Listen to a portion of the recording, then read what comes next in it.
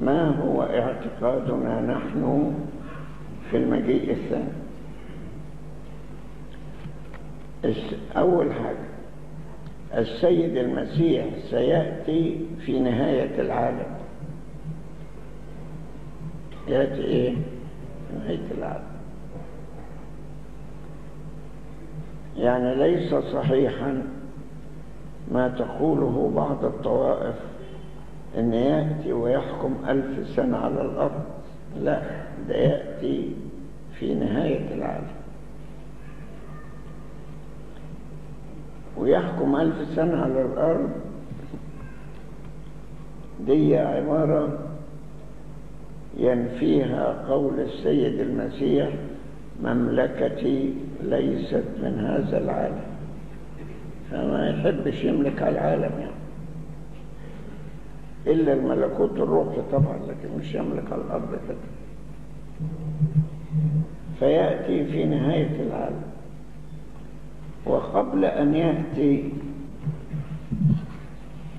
وقبل أن يأتي يحدث الارتداد العام كما ورد في رسالة تسالونيكي الثانية. إصحاح اثنين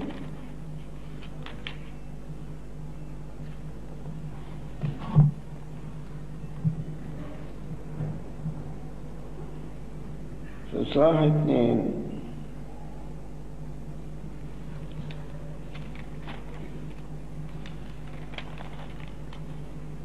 بيقول بولس الرسول ثم نسألكم أيها الأخوة من جهة مجيء ربنا يسوع المسيح واجتماعنا إليه أن لا تتزعزعوا سريعا عن ذهنكم ولا ترتاعوا لا بروح ولا بكلمة إلى آخره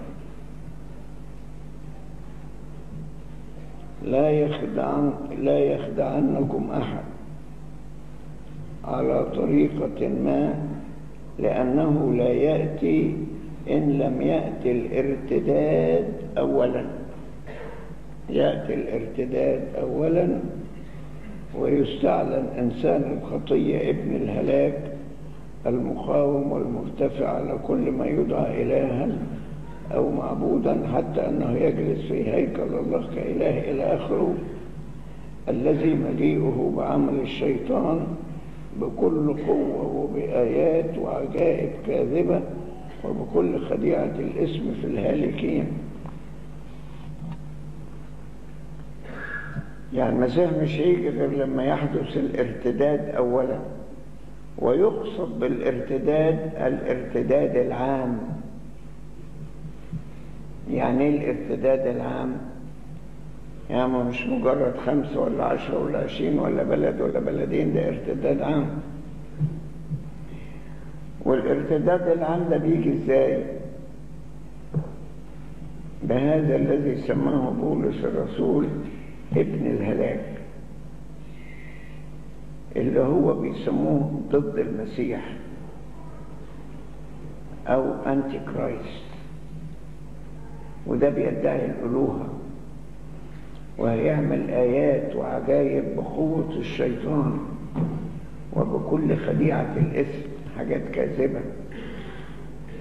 فالناس يؤمنوا بيه ويقولوا ده المسيح الحقيقي ويبقى المسيح اللي جه قبل كده واللي اتصلب ده ما ينفعناش فيرتدوا إذا المجيء الثاني للمسيح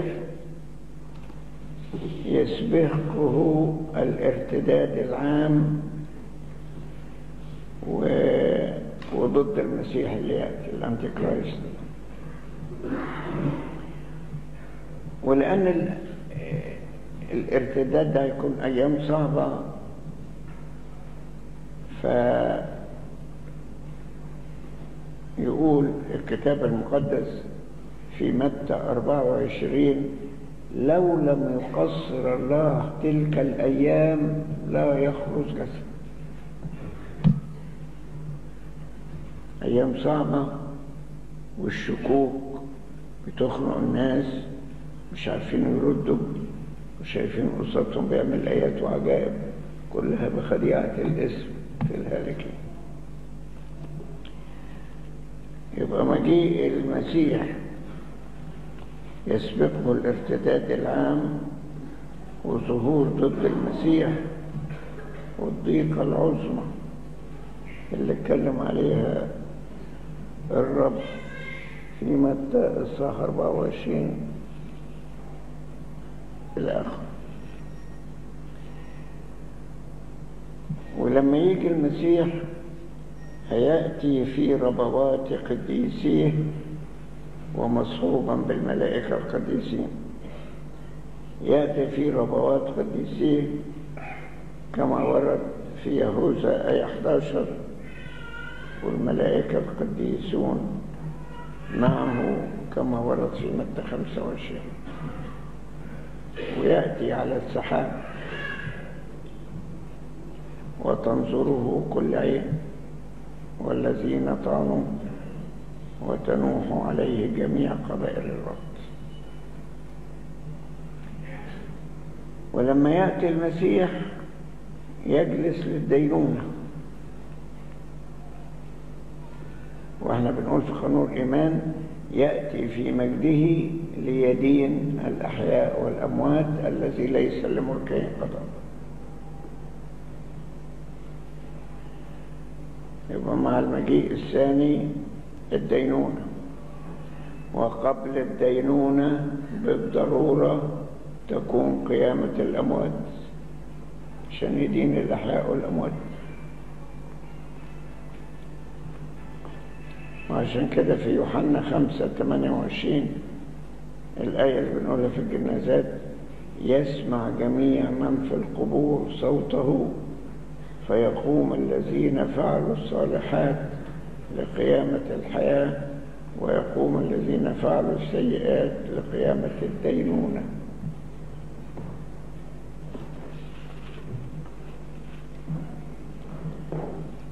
وقبل الحاجات دي برضو كلها قبل مجيئه وقبل القيامة وقبل نهاية العالم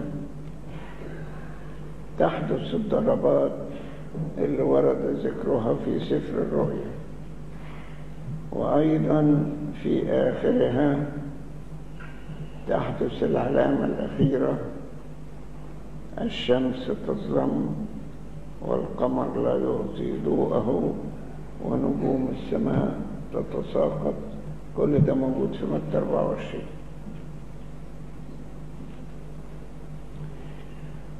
وقبل هذا أيضا قبل المجيء الثاني عشان تعرفوا لعل أي واحد يقول لكم على أي حد يقول خلاص القيامة لا لسه بدري. الأرض لم تشخ بعد. شوفوا في رومي 11 بيقول إيه.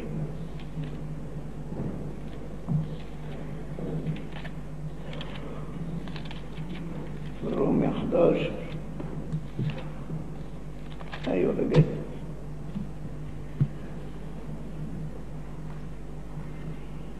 بيقول إيه.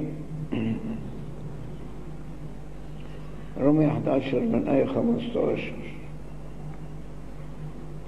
فإني لست أريد أيها الأخوة أن تجهلوا هذا السر لئلا تكونوا عند عند أنفسكم حكماء يعني فاكرين حكماء في أعين أنفسكم. لا السر ده لازم تعرفوه. إن القساوة قد حصلت جزئيا لإسرائيل إلى أن يدخل ملء الأمم وهكذا سيخلص جميع إسرائيل. إذا لابد من إيمان إسرائيل الإيمان السليم قبل مجيء المسيح. وهم لسه ما أمنوش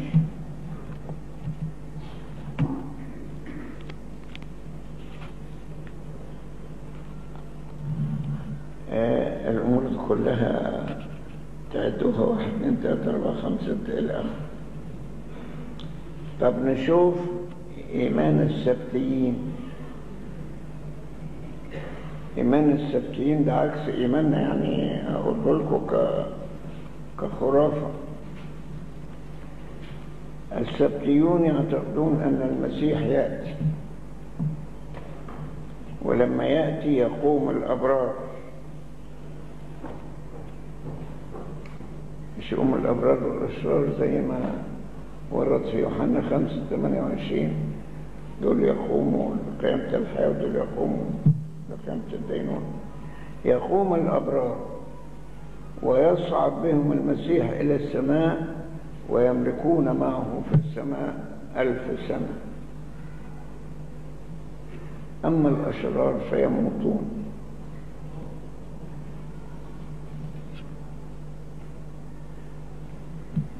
العكس اللي جه في الكتاب. الأبرار يقوموا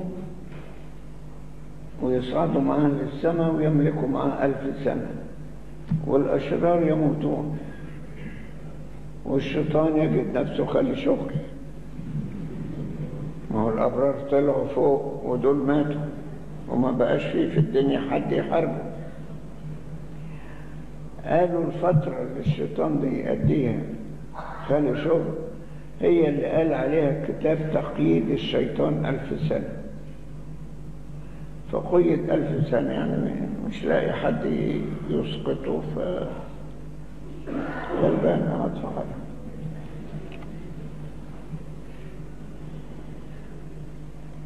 بعد الألف سنة ينزل المسيح ومعه الأبرار وتنزل أورشليم السمائية إلى الأرض.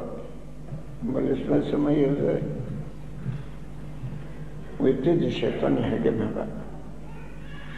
خد فترة راحة فمستعد. وعنده جيش كبير جدا. جيش كبير من مين؟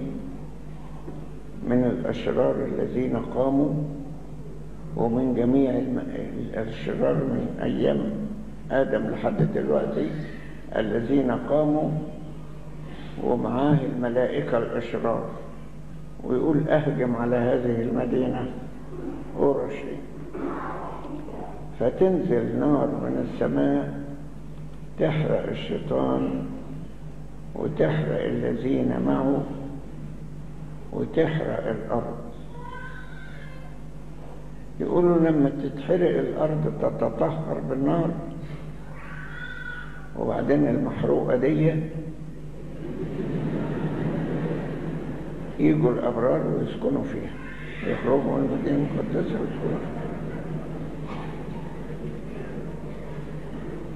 وتصير هي الأرض الجديدة.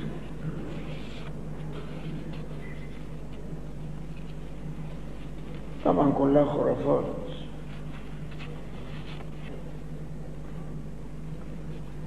إذا يعتقدون بقيامتين قيامة الأبرار في الأول ثم قيامة الأشرار بعدين.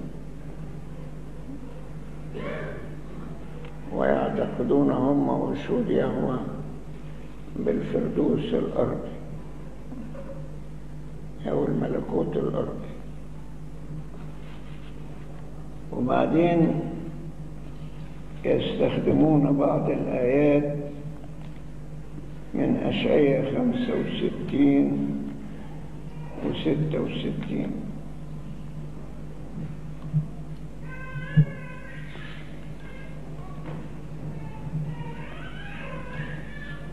أشعية خمسة وستين وستة وستين كان بيتكلم على الناس اللي رجعوا من السبي لألا تسمعوا الآيات وبعدين تتخضوا وتفتكروا الكلام ده صحيح.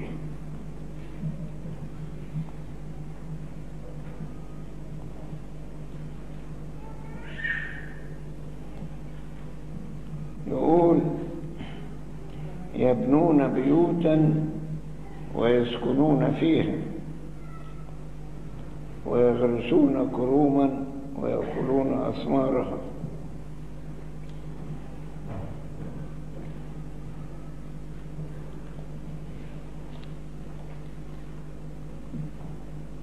استخدموا الحاجات دي. يقول الذئب والحمل يرعيان معا. والأسد يأكل التبن كالبقر أما الحية فالتراب طعامها. كل ده كلام رمزي عن الرجوع من السبي مش عن آخر العالم يعني.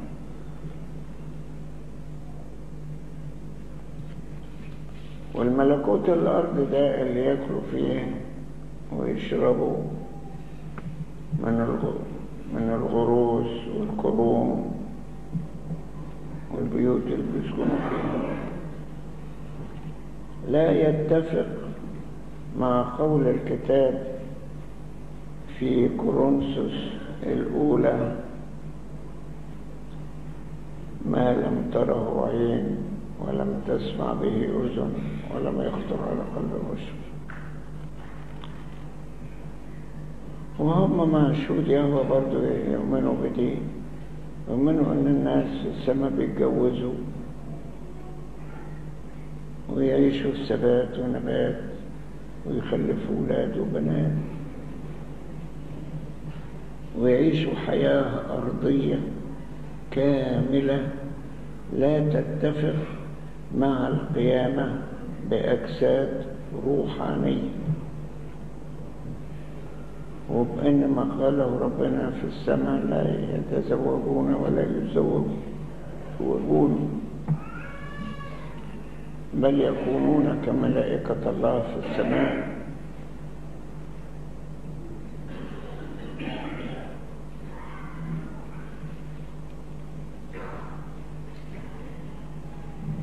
وبعدين حكاية إنهم يفتكروا أنهم في هذا الملكوت ينجبون أولادا. دي مشكلة أحب أكلمكم عليها بكل صراحة. الإنسان لا يدخل الملكوت إلا لو اختبرت إرادته ووجد أنه إنسان صالح. لكن اللي يتولد في الملكوت ده إمتى اختبرت إرادته؟ يعني خدها جاهز. مش معقول؟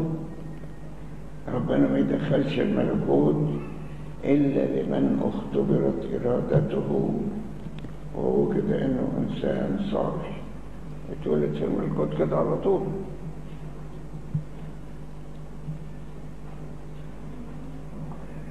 البنت بقت فوتوغرافر.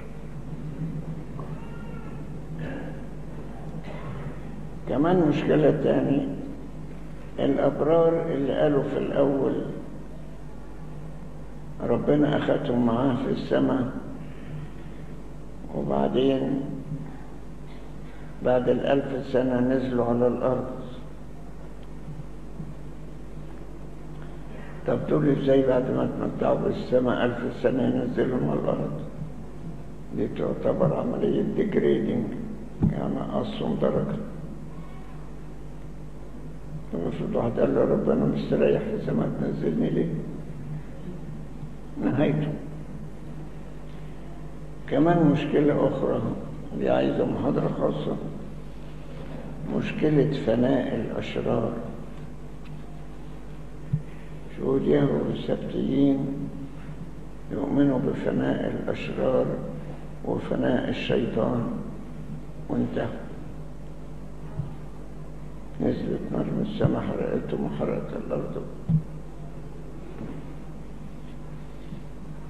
أمال إيه العذاب الأبدي والفناء نهايته دي عايزة وقت